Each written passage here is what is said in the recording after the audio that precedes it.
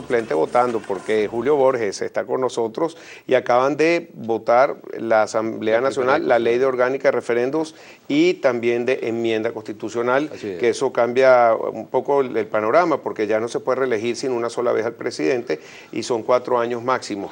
¿Cuál es tu opinión? Yo, destacaría eso, la, enmienda, es bueno que, que el país pueda saberlo, acabamos de aprobar ahorita en la Asamblea la primera discusión de la enmienda, la enmienda lo que significa es un pequeño cambio que se está haciendo en la Constitución y el centro de ese cambio es eh, quitar de la Constitución, tanto para gobernadores como alcaldes, como el presidente, el tema de la reelección indefinida y eh, recortar el periodo de seis años a cuatro años con una sola reelección y permitir que en este momento de conflicto se pueda ir como una especie de elección general, que es lo más democrático y lo que puede permitir que el país tenga como una especie de drenaje en esta olla de presión en la que estamos. Eso junto a lo otro que es complementario, que es el tema del referéndum, que estamos esperando simplemente que el CNE, que debería tener directorio mañana, termine de hacer esa aprobación burocrática de las planillas que dimos sobre la solicitud, porque es increíble, Pedro, te ponen eh, que tienes que buscar firmas para que te den permiso para buscar firmas, para que después te den permiso para buscar más firmas y a partir de allí es el referéndum. Y están esperando son unas planillas.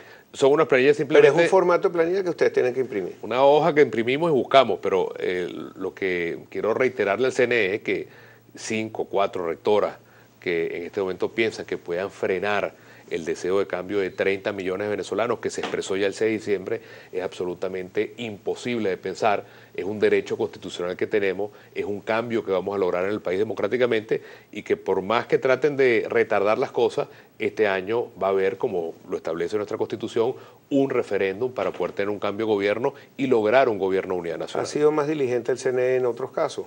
En todo, en todo. Al final el CNE, fíjate que cuando eh, pusieron esta firma, el decreto Obama, eh, y Lucena tardó en decir que había Pepa de Ojo como 10 millones de firmas, que no sé dónde estaban, en segundos.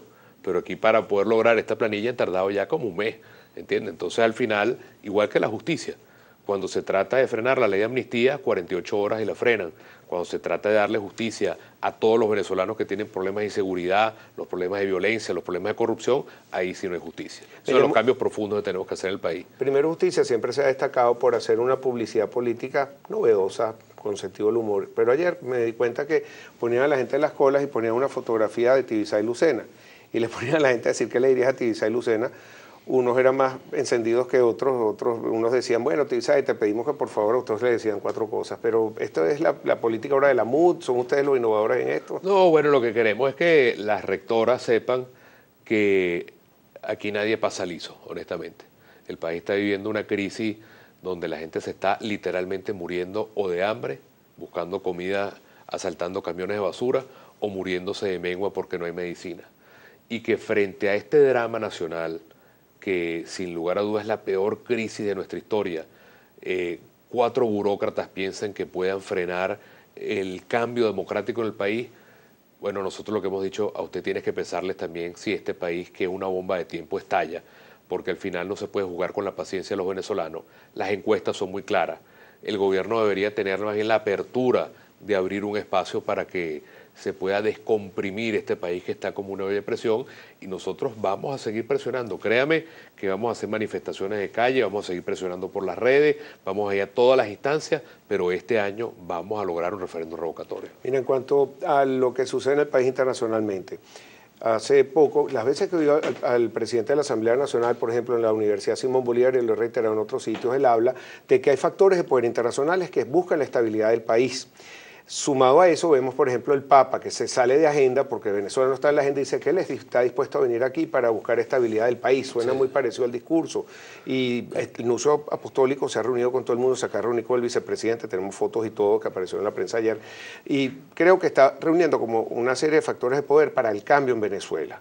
Me imagino que tú estás entre los integrantes de esos, Henry, porque ustedes son los que llevan la cabeza de la Asamblea, lo de la MUD. No sabemos quiénes son, me imagino que Aristóbulo. Pero ¿ustedes creen que se puede dar ese diálogo que ha pedido tan enfáticamente el Papa. ¿Crees que ese es el camino para salir de esto? Mira, eh, aquí el problema, Pedro, de fondo es si hay racionalidad y sentido común. Eh, en Venezuela la racionalidad y el sentido común es más escaso que el papel toalé o la leche, de verdad. Ese es el gran problema, que quienes tienen el poder, fíjate que cuando el Papa da en su mensaje el domingo de resurrección, y, no hay que perder la perspectiva, que el Papa justo en ese día, que es el, día estelar de, la cristiandad, que es el día de la resurrección de Cristo, le dedica un párrafo a Venezuela, el Papa eh, subraya algo muy importante, que la primera responsabilidad está en quienes tienen el poder. Es decir, los que tienen el poder son los primeros que tienen que, con su testimonio, dar el ejemplo de que creen en el diálogo y no ser los que le trancan la puerta al país entero. Porque esto ya no es un problema de gobierno oposición, esto es un problema de quienes están en el poder versus un país entero. Cuando tú ves en las encuestas que el 92% de los venezolanos están descontentos, y esto no es un problema de gobierno oposición, esto es un problema unánime de Venezuela versus un grupo que está en el poder. Entonces, ellos deberían tener ahorita la apertura de saber que no pueden jugar con, con la estabilidad de Venezuela. Nosotros que quisiéramos que esta crisis aterrizara como si fuera un avión que se viene incendiando, pero aterrice en paz ¿Qué significa aterrizar en paz? Que haya un referéndum, que el pueblo vote, que después de ese referéndum se elija un gobierno de unidad nacional, y cuando hablo de unidad nacional me refiero a un gobierno donde esté representado todo el país democrático, quienes incluso hoy puede ser que apoyen al gobierno, que se sientan parte de un proyecto de Estado, de un proyecto de país por varios años. Y el gobierno lo que hace es simplemente cerrar todas las puertas, cerrar todos los caminos, lo que hace es ponerle presión al volcán. Entonces, en ese sentido, no es solamente el Vaticano, UNASUR, la OEA, la ONU, todo el mundo está eh, clamando porque en Venezuela haya racionalidad y sentido común. Lamentablemente la pelota está del lado del gobierno y es el que no ha dado los pasos firmes para que eso pueda ser una realidad. Te, mencionó el Vaticano, el Papa, porque él fue el negociador principal entre las relaciones entre Estados Unidos y Cuba, y Cuba está tan relacionado con Venezuela que quizás esa sea la vía. ¿Tú no crees que se pueda tener una salida negociada, por lo menos a un cambio de modelo económico que lo pide la gente y votó por eso? Bueno, que el, el tema político, por supuesto, es el más caliente y más urgente, pero al final el que más se sufre también es el tema económico.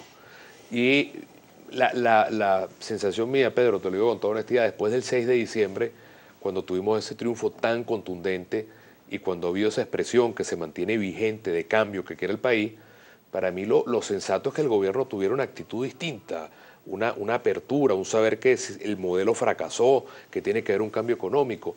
Y lamentablemente el gobierno lo que sigue es por la línea radical, tratando de hacer una mala fotocopia del modelo cubano y sin querer enmendar nada, sobre todo en el tema económico. Entonces, nosotros tenemos que seguir presionando para que se den esos cambios y para que una de las cosas que hemos logrado es que el propio pueblo venezolano sea el que de manera unánime y clara entienda la necesidad de esos cambios. Un pueblo que quiere más inversión, más empresa, más empleo, más producción venezolana, más orgullo de lo hecho en Venezuela y eso para mí es la fuerza con la cual se van a lograr esos cambios. Julio, tenemos que ir a una pausa, vamos a ver si habla verde al regreso, quería hablar contigo del tema económico precisamente y tenemos una luz en el camino que nos enseña el cambio, Argentina, hoy salió con unos bonos, un éxito y dejan atrás la historia del default, dejan atrás la historia de los fondos buitres, vuelven a entrar a los mercados y nosotros estamos entrando en quizás en un default.